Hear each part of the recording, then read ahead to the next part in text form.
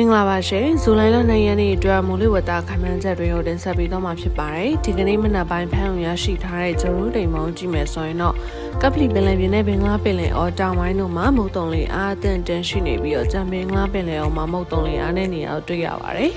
မြန်မာပြည်လယ်ပြင်ခံမှန်းချက်ကတော့မြို့ဝကျမောရခိုင်ကရန်ရှောင်းနဲ့ကမ်းလွန်ပင်လယ်ပြင်တို့မှာတခါတရံမိုးတက်လေပင်တွေကျပြီးတော့လှမ်းကြည့်နိုင်ပါတယ်။မိုးတက်လေပင်ကျနေတဲ့အချိန်မှာရေပြင်းပြင်းပြင်းနဲ့တနအီ35မိုင်ကနေမိုင်40နှုန်းတက်ခတ်နိုင်ပါတယ်။လှမ်းမြင့်နေရတော့9ပေကနေ17ပေလောက်မြင့်တက်နိုင်ပါတယ်ရှင်။မိုးရသွန်းနိုင်မှုခံမှန်းချက်တွေကတော့စကိုင်းတိုင်းအောက်ပိုင်းမကွေးတိုင်းရှမ်းပြည်နယ်အရှေ့ပိုင်းကယားပြည်နယ်တို့မှာနေရာကျကျ မန္တလေးတိုင်းရှမ်းပြည်နယ်တောင်ပိုင်းတို့မှာနေရာစစ်စိတ်၊ကြံပြည်နယ်နဲ့တန်တွေမှာနေရာနှံပြမိုးထချောရနိုင်ပါတယ်။ကချင်ပြည်နယ်ရခိုင်ပြည်နယ်တို့မှာဒေသလိုက်